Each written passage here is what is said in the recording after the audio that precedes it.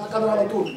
عندكم الاكسكلوزيفيتي في التسجيل هذه المناسبة اللي تمكنا فيها كحكومة وكقيادة الاتحاد العام التونسي للشغل إلى اتفاق بعد ساعات طويلة من المفاوضات نحب نتوجه بالشكر للإخوة أعضاء المكتب التنفيذي للاتحاد العام التونسي للشغل على جدية هذه المفاوضات. نحب نتوجه بالشكر إلى الهيئة الإدارية الوطنية للاتحاد العام التونسي للشغل على روح المسؤولية اللي اليوم كانت موجودة عندها وهذا ليس بغريب وهو من شيم النقابيين في الاتحاد وأن طبيعة المرحلة تمر بها بلادنا اليوم والظروف الأمنية على الحدود واليوم الاتفاق اللي توصلنا له هو من شأنه أنه يقلص من الاحتقان الاجتماعي اللي موجود اليوم في البلاد.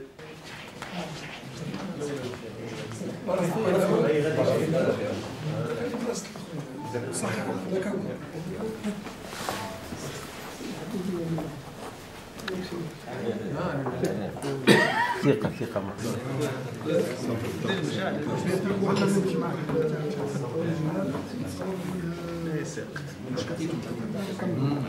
ما التعطيلات هذه إن شاء الله ترجعنا جدا وقتاش نبدو تو باش نكونوا لجنه مباشرة بعد إحنا اتفقنا مباشرة بعد في عليه عليه الثاني خلال 10 أيام يعني. هذه لحظة مهمة. ختمنا فيها مسار من المفاوضات بين وفد من الحكومة ووفد من الاتحاد العام التونسي للشغل حول الأحداث الأخيرة وحول قرار الهيئة الإدارية السابق بالمضي في إضراب عام. وخلصنا والحمد لله بعد سلسلة من المفاوضات إلى مجموعة من النقاط باش نقرأ عليكم البيان يكون بين يديكم ونحب بالمناسبة هذه أن نشكر كل خيال من قيادة الاتحاد العام التونسي للشغل اللي ساهموا في هالمفاوضات هذه. وكل الأطراف اللي سعت مباشرة أو بطريقة غير مباشرة باش تنجح المفاوضات هذه. شكرا آه، سي علي. في البداية تحية لرجال الإعلام. إحنا آه، رغم حجم الاعتداءات اللي تعرضنا لها في مناسبة تاريخية اللي هي ذكرى الستين الاحتفال بإحياء ذكرى الستين لاغتيال الزعيم خالد فرحات حشاد إلا أننا كمنظمة وطنية نؤمن بالحوار وهذا دليل مرة أخرى أن كل ما جلسنا على طاولة الحوار إلا ووجدنا بعض الحلول اللي من شأنها تنقص من التوترات الاجتماعية. هذه المناسبة نحب نحيي الهيئة الإدارية الوطنية اللي اجتمعت اليوم ولعبت دورها الوطني ودورها التاريخي وليس بغريب على مناضلي ومناضلات الاتحاد العام التونسي للشغل في قرارها في إلغاء الإضراب. إحنا عندنا على يومين تواصلت المفاوضات وتوصلنا إلى اتفاق منذ الأمس كمشروع اتفاق ولكن إحنا منظمة معناها آه، تحترم نفسها وتحترم قرارات السلطات قرارها.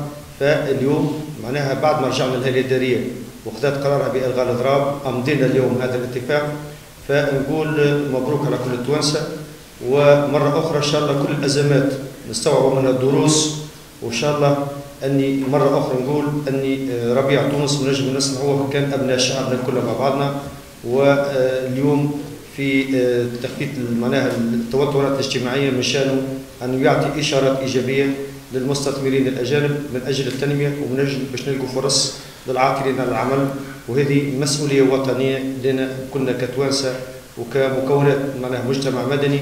وكأحزاب وكحكومة. وبهذه المناسبة نحب نوجه تحيه إلى كل مكونات المجتمع المدني وإلى كل قوى الخير اللي آمنوا بهذه المنظمة وتعاطفوا مع منظمتهم الاتحاد العام التونسي للشغل وشكرا لكم. يعني في خضم الأسابيع اللي تعديت فيما يتعلق بالأخذ والرد على الاتحاد والحكومة من جهة فما عديد تصريحات ناريه كانت خرجت على من الأعضاء من الحكومة ومن أحزاب الترويكا ويقولوا على أساس أنه الاتحاد مخترق من اليسار الاتحاد يخدم في السياسة اليوم باش نفركوا الرومانه هذيا كما نقولوا شنو تعليق آه، سي نور الدين طبوبي الأمين العام المساعد على جميع التصريحات اللي كانت خرجت في الصيف كانت خرجت في ماي على أساس أنه الاتحاد يلعب في دور سياسي بامتياز. على أساس أنه الاتحاد هو مظلة المعارضة الخاسرة في الانتخابات والتي تحاول أن تطوع الاتحاد لأغراض سياسية.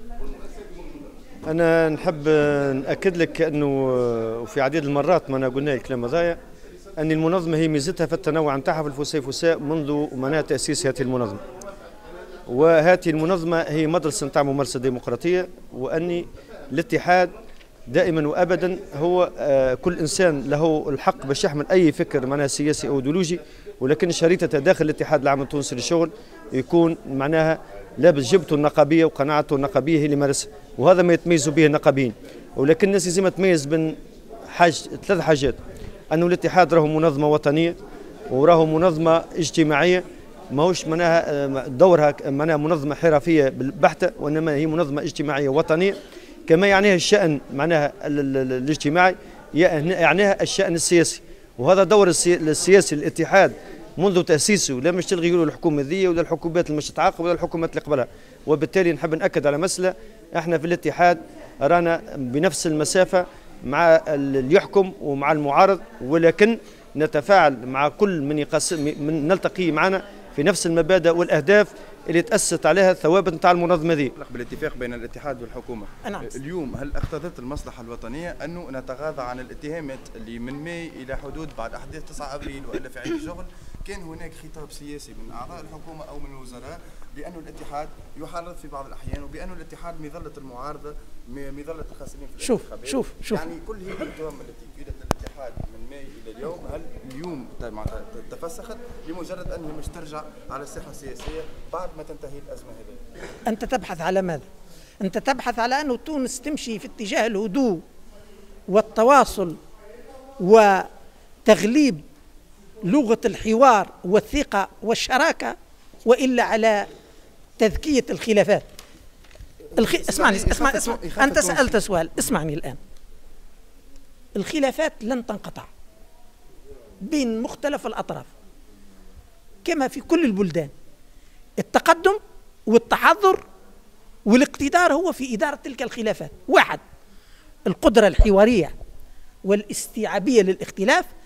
اثنين الإرادة الموجودة بين تلك الأطراف. ثلاثة الواقعية أنه الناس وقت اللي تتحاور أو مش قبل ما تتحاور تسرع الحاجة تصعيدية وإلا ما تصبرش على الحوار. بصفة عامة هذا فاش تسبقنا الدول الأخرى. الدول الأخرى مش ما عندهاش مشكلات. عندها نفس المشكلات هذه حتى في أعرق الديمقراطيات لكن عندها قدرة على أن تعطي للوقت وقته وتتحاور مليح. ولذلك تلاحظوا القمم الأوروبية حتى ساعات تفشل القمة ما تقرر حتى شيء. لكن مش معناها تتعلق القمة ما عادش تنعقد كما في بلداننا العربية وإلا حتى في مغربنا العرب. تشوفي لا. فشلت القمة هذه متاعهم القمة الأخرى في موعدها. لأنهم مؤمنين بكونه ديما الحوار قادر إذا ما حلن إذا ما قدم بينا على الأقل ما يوخرش. فإحنا هاو قاعد يتوفر. إحنا قداش عندنا؟ عندنا سنة أولى ديمقراطية يعني إذا قررنا من الانتخابات. وإحنا شعب تعرفوه مؤسسات وأحزاب وكلنا. كلنا ماناش متدربين على إدارة شؤون دولة ديمقراطية. معناها يكثر الحديث على أنه يلزم الأمن يتم فيه إصلاح باش يولي أمن صالح لدولة ديمقراطية مش كان الأمن هو. الأمن والحزب السياسي والجمعية والاتحادات والمواطنة كلهم لازمهم يتدربوا على أنهم يعيشوا في دولة ديمقراطية قائمة على حقوق وعلى واجبات. هذا الإصلاح لازم في فينا. ولازمنا نصبر على بعضنا لوقت لأن ما, ما تدربناش. نحن قبل إحنا عندنا متعودين كيفاش نحلوا مشاكلنا في دولة استبدادية. لكن تو باش نحلوها في دولة ديمقراطية يكثر فيها الحوار ويقل فيها اللجوء إلى الحسم وإلى الغضب وإلى التصعيد. إن شاء الله بكلنا قاعدين نتدربوا وقاعدين نتقدموا. على كل حال أنا متفائل لأنه هذا اللي وصلنا له هذا دليل على تحضر التوانسة وعلى قدرتهم أنهم يبنوا ديمقراطيتهم ويشرفوا أنفسهم أولا والعالم ثاني